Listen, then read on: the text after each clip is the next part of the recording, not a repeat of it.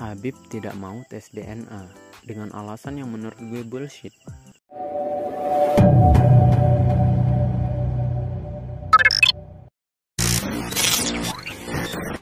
Selamat datang di Evolusi Mind. Secara sederhana, DNA adalah kode genetik penyusun makhluk hidup. Iya, lu punya dua tangan, dua kaki, badan, organ, dan sebagainya dalam berbagai bentuk itu karena DNA, coy. Lu lahir sebagai manusia, pasti ibu lu juga manusia. Telur ayam akan menetaskan ayam, sapi akan melahirkan anak sapi. Itu karena DNA. DNA bisa menyalin dirinya dan membuat individu yang baru, yang kita namai proses reproduksi. Semakin dekat hubungan suatu individu, maka semakin identik DNA-nya, dan itu sudah menjadi kepastian ilmiah.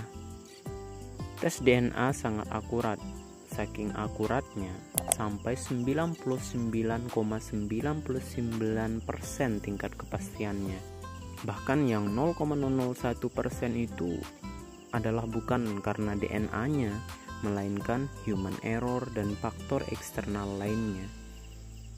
Makanya dalam berbagai peristiwa yang menyebabkan suatu individu tidak dikenali identitasnya, baik karena kecelakaan, pembunuhan, dan sebagainya, tes DNA adalah hal yang akan dilakukan jika memungkinkan.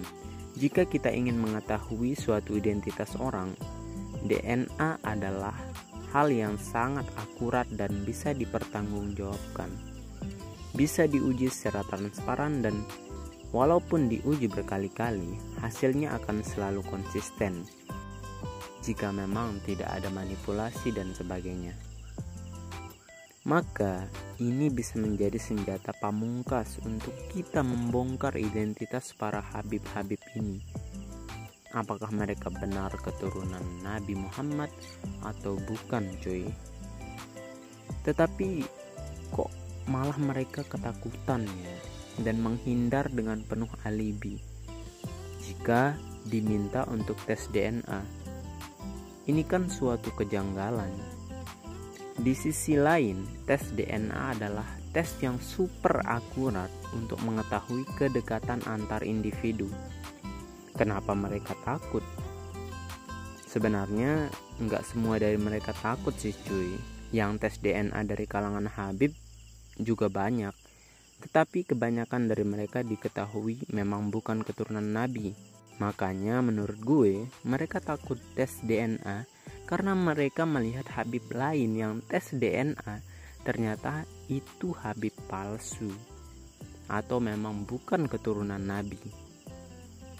Sama aja sih sebenarnya. Jika diminta untuk tes DNA, alasan mereka sangat konyol ya. Salah satunya mereka balik nanya apakah ada ulama atau lembaga yang menghalalkan atau menisbatkan tes DNA sebagai tolak ukur untuk mengetahui mereka keturunan nabi atau bukan. Aduh. DNA mereka ada nggak satu aja lembaga nasab internasional yang ngakuin tes DNA jarak jauh yang mereka lakukan? Wah, malu gue sa. Mending kita jalin ukuah aja deh. Terus kalau nggak ada tes DNA jadi palsu gitu, jadi nggak valid gitu. Ya ini kan aneh cuy. Nggak habis pikir soal ini cuy.